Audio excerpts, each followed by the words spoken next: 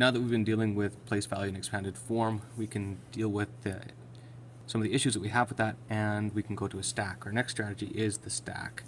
Um, we can take a number again, 207.94, and we can say that we're going to add it to 20.07. Um, again, we're going to do a stack, but to start off, let's just make sure that we can do our uh, expanded form. Um, we have our 2, which makes it 200. We have no tens here, but I have to actually represent it. And this is where a lot of kids just ignore it. They would put a 7 here. But if we don't put this tens place and account for it, we are going to lose our place value when we add across. Um, we have our 7s, 9s, and 400s.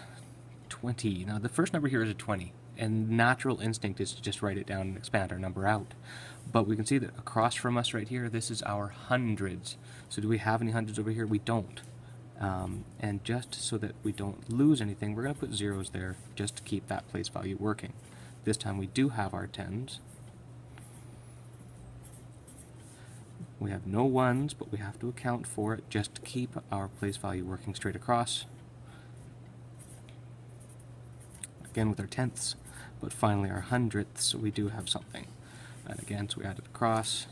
200 plus 0 is equal to 200. We have our 20. Oops, gotta keep my decimals going as well. We have our 7. Our 9 tenths. And 11 hundredths, which would be 11 starting in the hundredths place. Again, we add it up carry the 1, comes an 8, a 2, and a 2. That was what we did last time. Now we're going to do the exact same equation, but we're just going to do the stacking. And to stack it up, we would write down the 207 decimal 9 4, but to stack it we have to line things up. The best thing about decimals is it always gives us an orientation point. We always know that we have to put the decimal above the decimal so I'll start by putting the decimal right here. And now my number is 2007. So here's my 2007. But you have to keep this place value. And again, it seems kind of rudimentary. This is the old-fashioned way of doing it. But unless you understand why we're lining it up, numbers can often get moved around, much like we can see how it would have happened if we ignored this place value up here, if we ignored this place value here.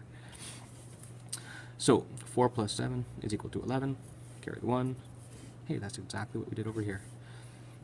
9 plus 1 is 10. Carry the 1. Comes an 8, a 2, and a 2. We end up with the exact same number, but it's two different ways of going about it. This strategy is a pictorial representation of the equation. This one is the standard algorithm or the symbolic representation.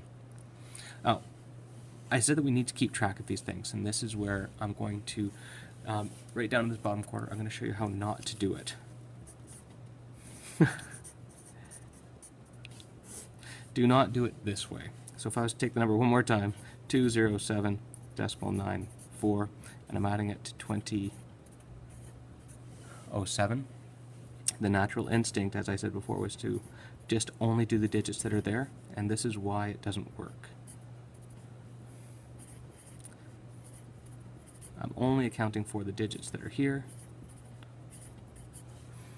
and if I was to do that,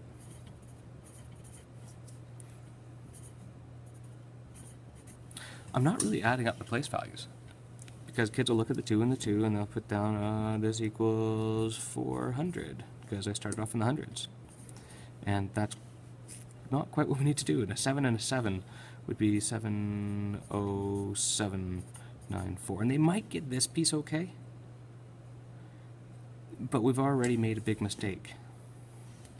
So this is why when we are doing our place value expanded form, we have to account for each digit that is represented. This had a five digit number, we have to have five going down. And even though this is a four digit number, we need to represent all of the five place values on this side as well. So this is our expanded form. This proves that our symbolic representation works. And we've also proved that it's inappropriate to only account for the digits that are there, and that's our next lesson.